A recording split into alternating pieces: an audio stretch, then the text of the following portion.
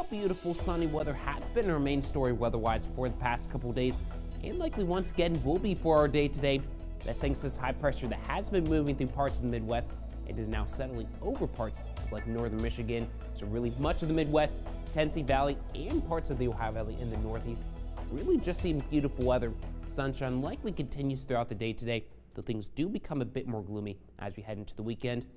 That's likely thanks to the slow pressure currently over the east of coast of Florida over the Atlantic, starting to pick up all this moisture and rain that might try to push on in over the next couple of days. Though much of our impact should just remain clouds.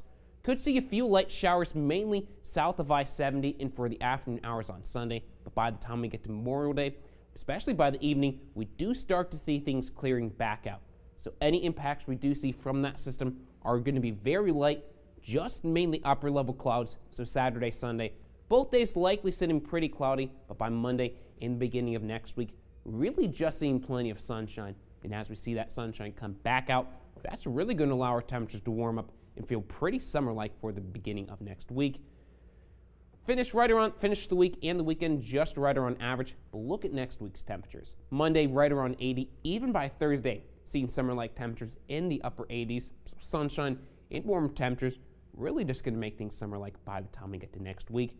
As we start the morning, really not noticing anything across the Fort Henry Bridge, just clear skies and a slight breeze with most of us now starting to dip down into the 40s. 48 are currently our temperature here in Wheeling, so not a bad idea to have a light jacket or sweatshirt as you step out the door this morning, though much of us will see temperatures back up to average 73 here in Wheeling with the warm spot of 76 down to St. Mary's and our cool spot of 70 on over to Millersburg.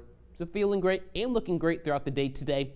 Do notice things become a bit more gloomy for our day tomorrow. So if we're heading out to any of the events for the Ogden Newspaper Wellness Weekend, note that things will be a bit chilly for as we start things off tomorrow. So not a bad idea to have a light jacket or sweatshirt as you step out the door. But as we start to wrap things up by noon, skies start to cloud over a little bit, but we'll likely once again see our temperatures pretty much just right around average in the mid to low 70s. So not a bad start to the weekend, but we do notice things a bit more gloomy, especially for our day on Sunday. So if you're involved in the toughest nails, know that you might see a little bit of some light showers on Sunday, though much of that, though, should be for the afternoon hours. I do expect most of us to stay dry throughout the day Sunday, even far down Monday. But Memorial Day itself, not looking bad. We'll start off the morning with the clouds and chance for just a stray shower, but sunshine by the time we get to dinner and sunset. But we'll see things continuing to clear out with plenty of sunshine and warm temperature for next week. 83, mainly clear for day on Tuesday, then beautiful clear skies Wednesday and Thursday. Both days seeing temperatures either in the mid to upper 80s, so making things feel and look summer like for the middle and the end of next week.